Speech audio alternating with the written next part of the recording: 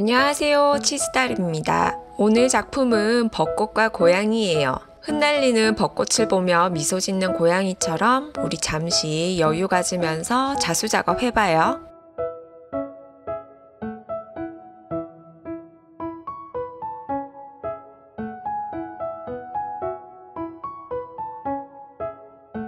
잠시 동안에 새로운 구독자분들이 많아졌어요. 구독해주셔서 감사합니다. 이제 작업 시작해 볼게요. 먼저 나뭇가지 부분을 작업해 볼게요. split 스티치로 rough한 느낌을 살려서 해볼게요. split 스티치는 한 땀을 놔준 뒤에 되돌아가서 그 땀을 가르고 나와서 다시 한 땀 놔주는 거예요. 꼼꼼하게 하려고 노력 안 하셔도 괜찮습니다. 약간 거친 느낌을 주는 스티치거든요.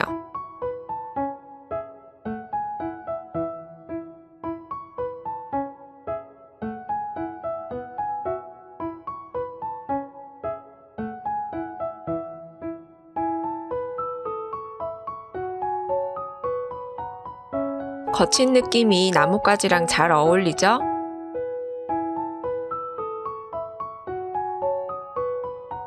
대신 우리는 나뭇가지를 두 가지 색깔로 표현해 줄게요. 이게 진한 색입니다.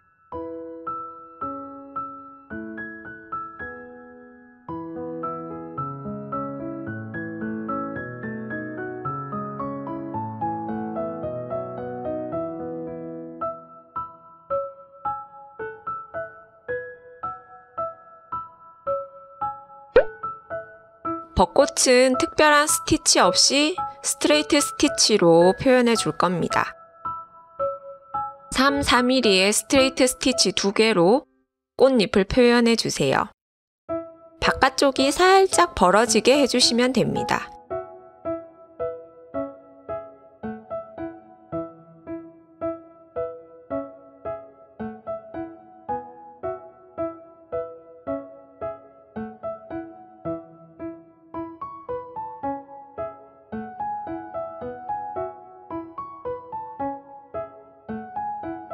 자연스럽게 보이게 나뭇가지 위에도 술을 놔주세요.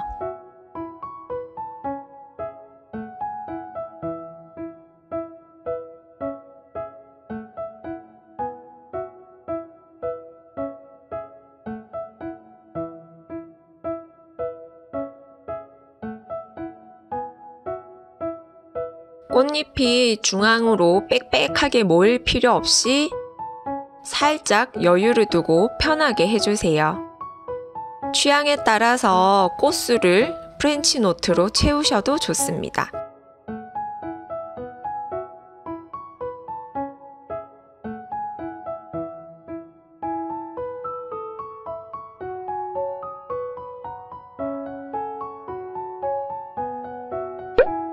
이제 꽃 색깔 바꿔볼게요. 저는 이 색이 더 좋아요.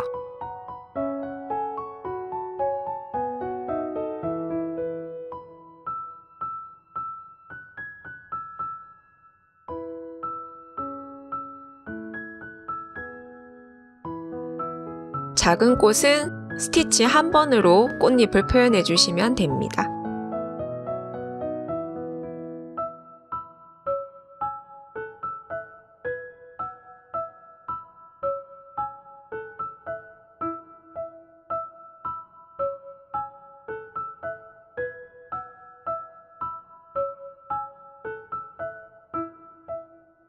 마음이 급하면 이렇게 실수도 합니다.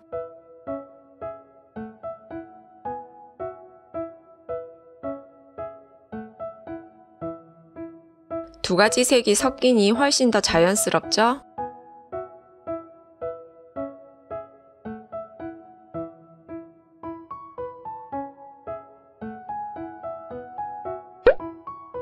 흩날리는 꽃잎도 표현해주세요. 한 땀은 길게, 나머지 한 땀은 그보다 살짝 짧게 해주시면 타원형의 꽃잎 느낌이 나요.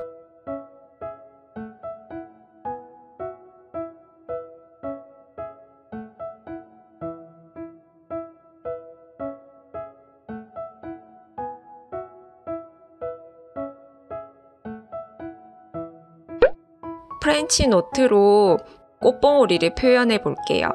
화면처럼 실을 두 번 감아서 바늘을 실이 나온 자리에 수직으로 넣습니다.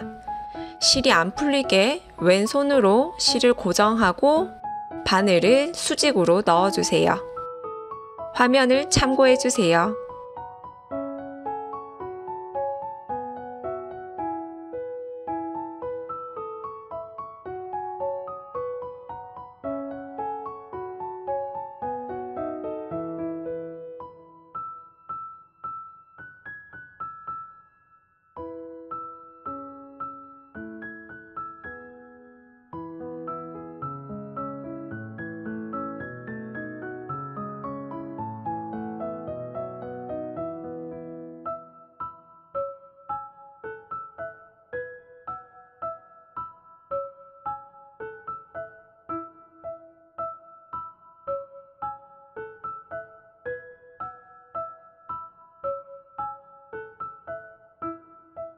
벚꽃이 흐드러지네요.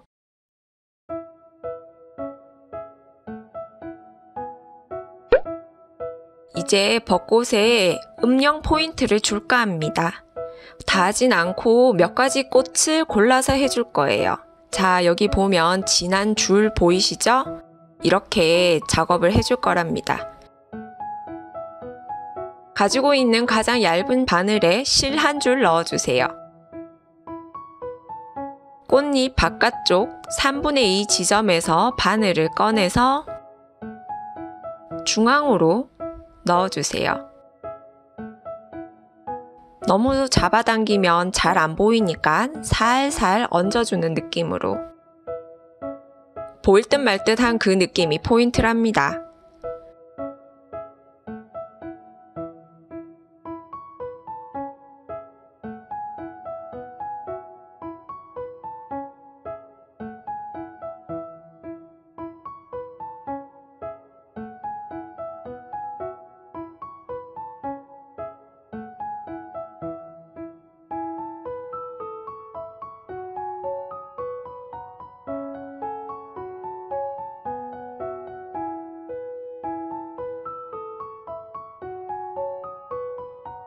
꽃 색에 따라 포인트 실 색도 다르니 참고하세요.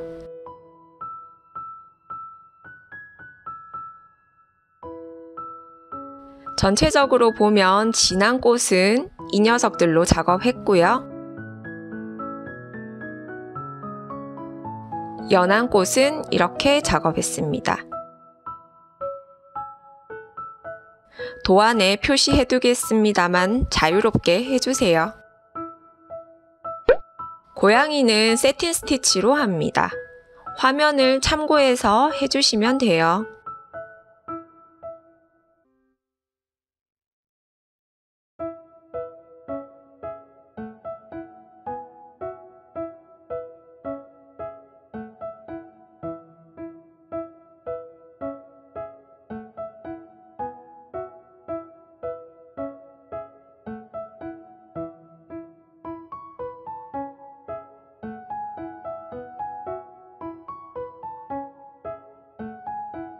라인은 1mm 정도의 백스티치로 해주세요.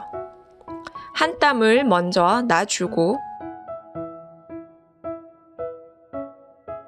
한 칸 떨어져서 다시 바늘을 꺼낸 뒤 화면처럼 되돌아가면서 한 땀씩 놔주는 겁니다. 짧은 땀이 예뻐요.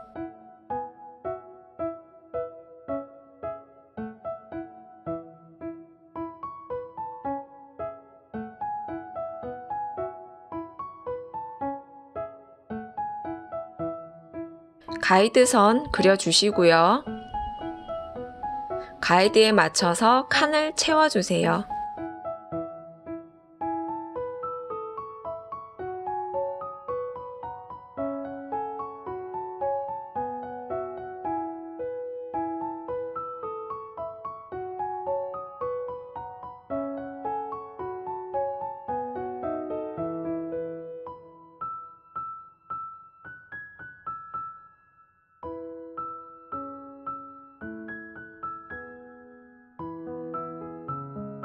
수염과 입도 한 땀씩 해주세요.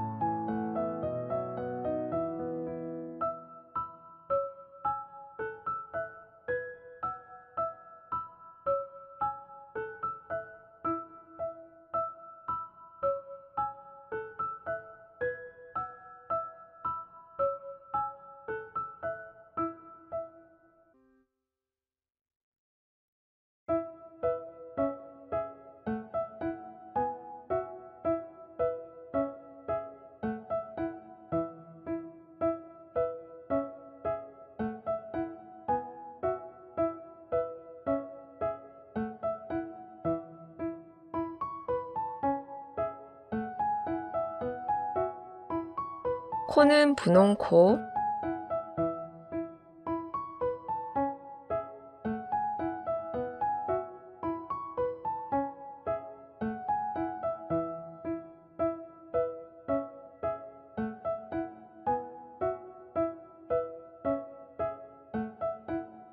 활용 점정이라고 하죠. 눈은 얇은 바늘로 살짝 포인트만 주세요.